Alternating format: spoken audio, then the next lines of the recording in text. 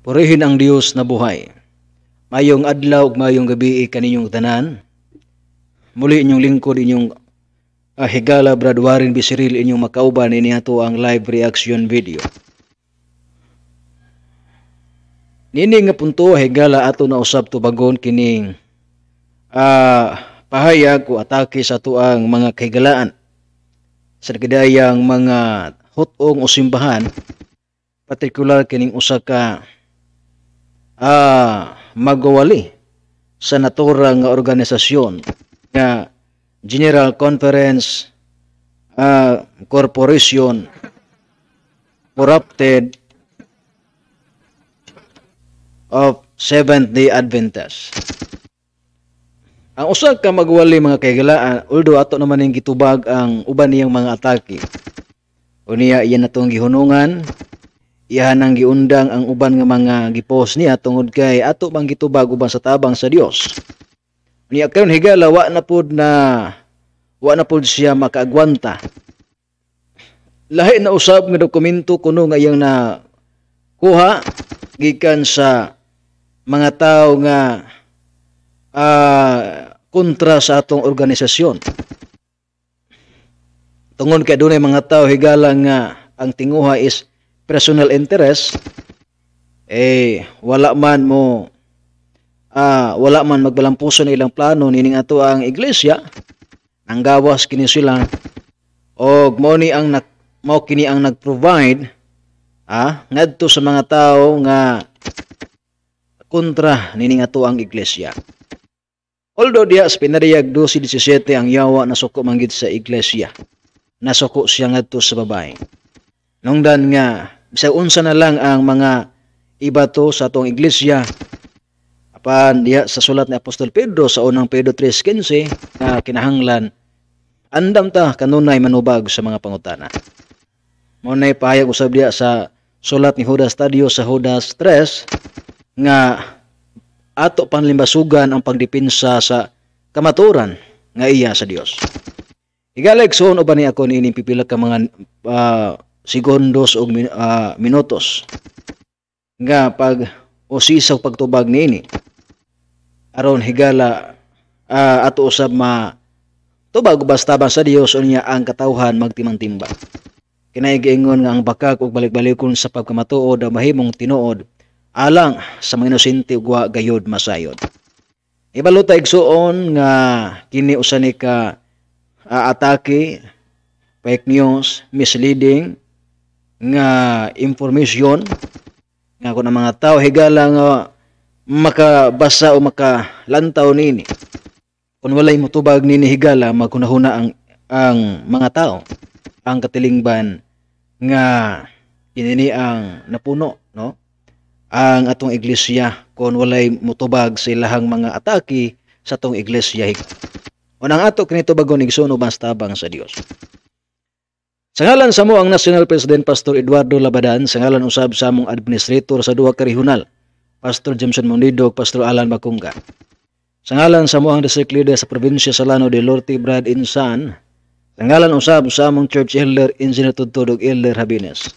Igalig suon kung asa man kamong dapita karon nga nagsubaybay maayong adlaw may gabi, magandang umaga at magandang gabi po sa, uh, sa inyong lahat. At uh, ngayon mga kapatid, ating sagutin ito punto por punto nining ato ang uh, video nito ang live streaming. Igala igsuon. Inyo nabantayan ang maong uh, post sa social media. No? Nagitag tahigala o gimensyon ang ato usab nga pangalan ug mao kini ang iyahang pahayag mga kaigalaan. Announcement sa mga membro sa korporasyon dinhi pa lang nga punto higala sablay na. Tungod kay sa among debate higala although ako naman nang gipadungo ninyo sa nangaging ito mga video nga iyang giangkon nga ang ato ang rehistro dili corporation kunili Seventh Adventist Church Local Conference Incorporated. So kini higala iya na lang ning uh, bunga na lang ni sa iyahang uh, naglugubong pagbate. Matut pa niya ni Pastor Eduardo Labadan. Senior, basahan ninyo kini matut pa niya nga order gikan sa gikan sa Regional Trial Court.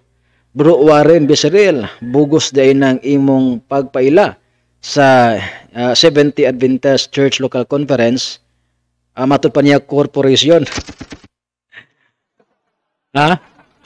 Iyan ang giusap ang gitawag nato higala og iyang giangkon nga dili mi uh, dili mi corporation yang gisulti sumala sa among rehistro nga 70 Adventist Church Local Conference Incorporated. Niyang iya diri higala. Iya nang gibutangan og corporation.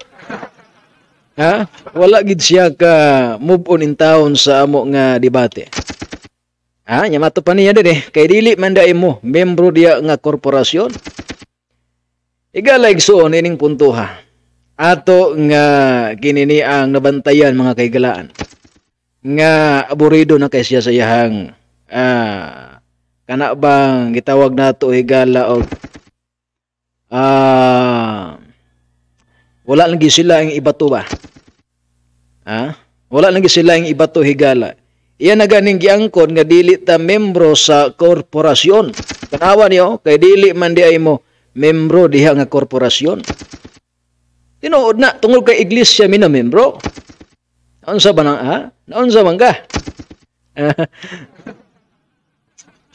ang imo ang komento ah nagka windang-windang na. Ah, mato pa nimo membro sa korporasyon. O niya, mingo na pugad, dili man day mo membro sa korporasyon.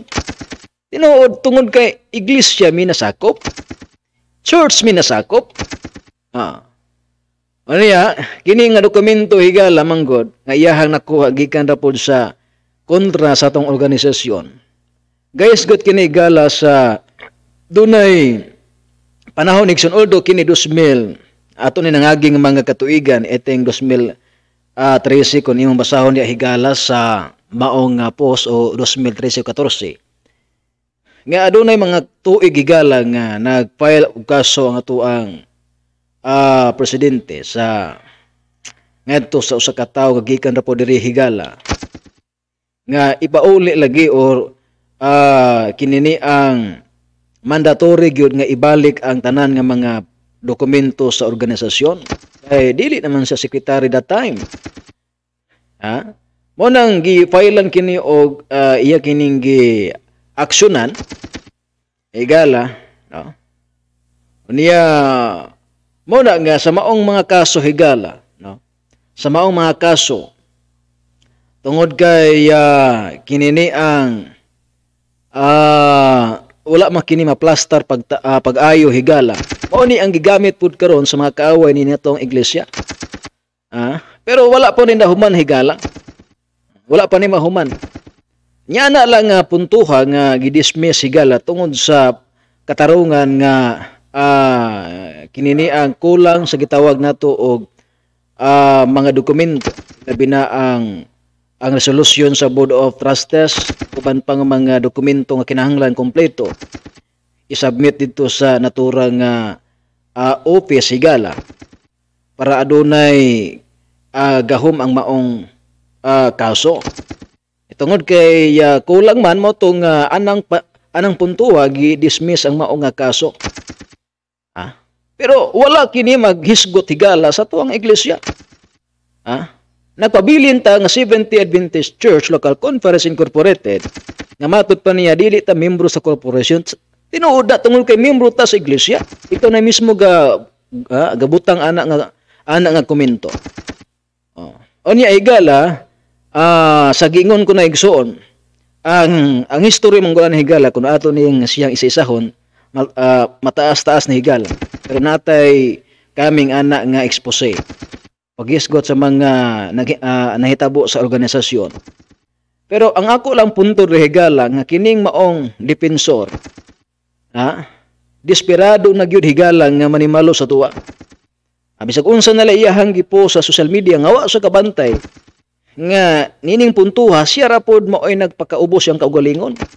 Nga anuman, tungod kay una, Ah, kini gaisgot lamang kini sa mga kaso-kaso diya sa organisasyon. Hmm. Nya wala kini maggisgot higala sa una sa doktrina o pagtulunan. Ha?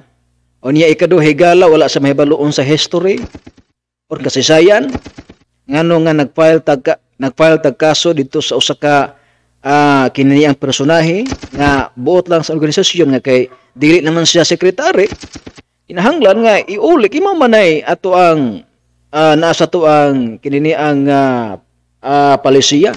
Nga kung dili ka na sekretary sa organisasyon kung napildi ka na kung wa ka na mailik ang sunod nga mulingkod nga sekretary imo, nang i-return imo nang ibalik. Iuli ni mo na. Gawas lang kung next ah, pagkasunod tuig makadaog ka na di ikaw na pud ang magunit sa maong mga dokumento. Eh kay wala man niya giuli mao tong giaksyonan sa tuang presidente pinaagi sa mandatory igala nga gipaagi niya sa gobyerno tungod kay dili man gid siya dili man niya iuli mo na nahitabo higala na ini nga kaso nga iyang gipos. Ha? Inya ikaduhang punto mga kaigalaan ay katulong punto nga niini nga kaso sa organisasyon. Ah daghan kay siya og mga palakaw higala kining gikasuhan ni ah, ni Pastor Labadan. Unya mao po ni gikuwaan og mga dokumento niining mga higala nato nga depensor kuno sa General Conference ah, Corporation Corrupted nga 70 Adventist nga dili iglesia. Ah. Ang ha- halos majority sa mga depensor didto sila gakuha og mga dokumento sa kanhi nga kauban nato higala nga mingbiya siya unya gidala niyang dokumento unya sa diyang gidala niyang dokumento kini pong mga depensor sa korporasyon nagsabuatan sila higala. Ha?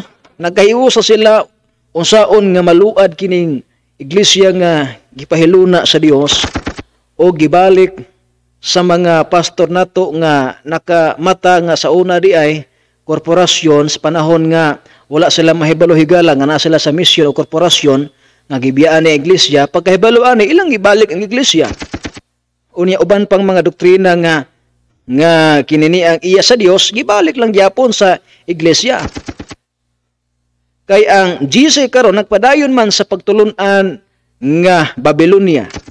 Nagpadayon man sa baruganan nga dili sila iglesia kun dili negosyo. So ang ilang mga depensor karon higala nagka ah nagbahin-bahin na unsaon nila pagpanalipod niini hangtod nga minggunit sila didto sa kanina tong kauban nga ninggawas didto na lang sila namulot og mga mga dokumento higala nga dugay na nang natubag sa organisasyon. Higala dagang salamat sa iyong pagaminaw iyong lingkod Brad Warren Becerril. Inumduman nato higala nga ang bakak ato mabuntog kung kita sa kamatuoran mo barog. Dagang salamat sa pagaminaw. Iyong ubos nga lagad Brad Warren Becerril ang Dios magapanalangin kanatong tanan. Tugad, bida glory.